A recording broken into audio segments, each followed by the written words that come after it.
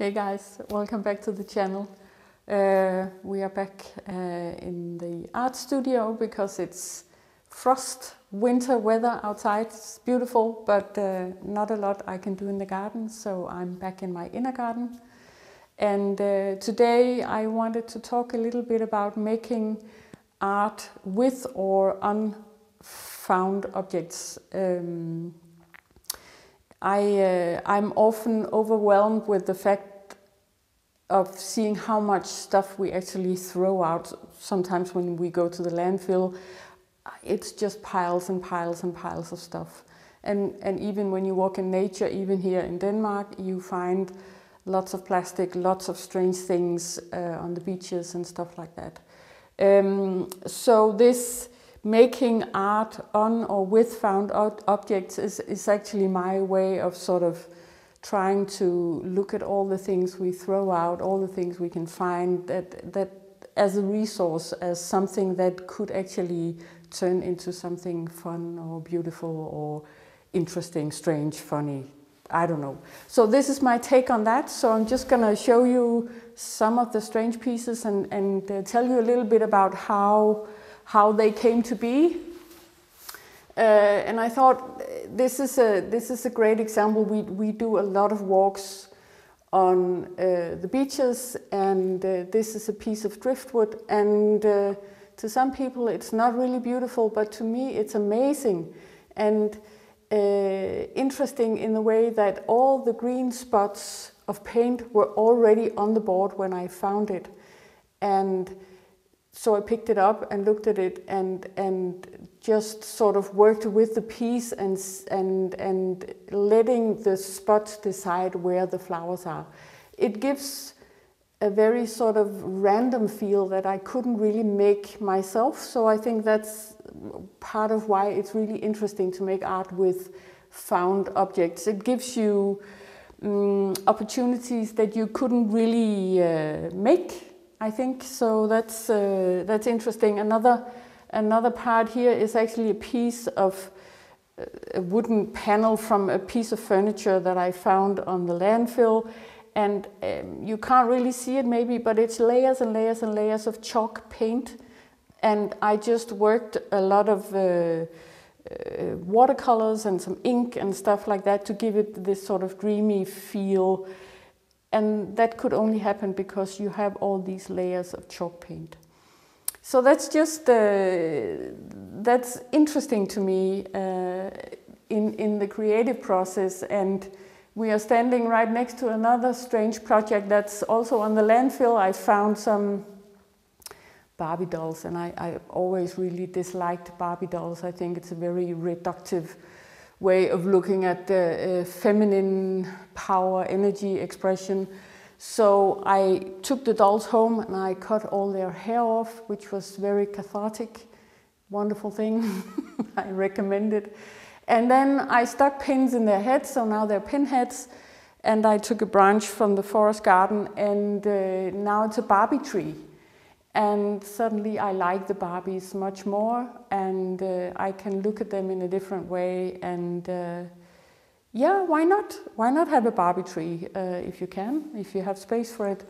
Um, so that's just a few examples. You never know what what what you find is going to trigger, uh, and there are so many different ways to work with things.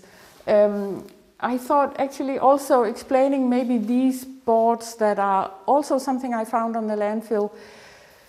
Um, they are just wooden boards or um, yeah well I, I think there's some from from some farm uh, somewhere on the island and uh, they're no rot or anything but they're just maybe 150 years old or something and and they're in really quite good shape and they have this green, green paint on them. And this paint, of course, is very old, so a lot of chemistry in it that's probably not very good.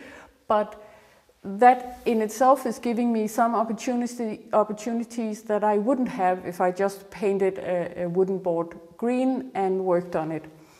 So what I did was I, I, um, I put some uh, metal leaf, uh, gold uh, colored metal leaf on it, and then I put acid on top. Uh, and it gives this incredible uh, effect of all kinds of different colors are coming out and even this piece and this piece also is changing with the light that moves in, in the room during the day. So I really enjoy that. And it's very random. It's not something I can control. I have to put the, the metal leaf on and I have to put the acid on, but I can't really control it. So they are made on two different evenings with frost. Uh, so I put the leaf and I put the acid and I put them outside for a night and then I woke up to this and I like this kind of um, random feel that I'm not in control. Um, another another example I thought was uh, I've had fun making is this this painting. You know, sometimes when you order something from the internet, I know we all do. You it comes wrapped with or with crunched pieces of different kinds of paper. And I always keep these papers, these are all brown papers. And uh, then I've just with some acrylic paint and some wood glue and uh, these uh, pieces of torn paper from the parcels. Um, I've made this uh, and then someone gave me a couple of rolls of old wallpaper and then the piece turns into this.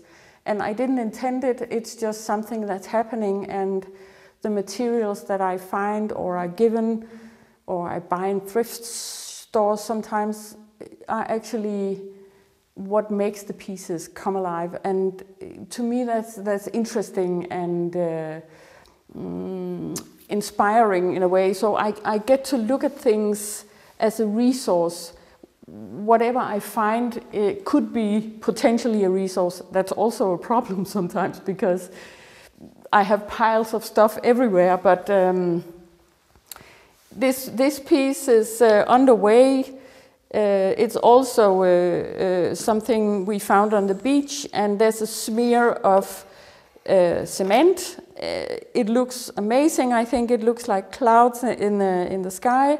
And then I'm just trying to work out with strange things that I found how, how this might be interesting. And I don't know it's, where it's going to end up, but just trying a lot of different things out. Um, and this can be varnished so that it doesn't really um, scale so much as it does right now. But until I know if I'm using it, I'm not going to do that.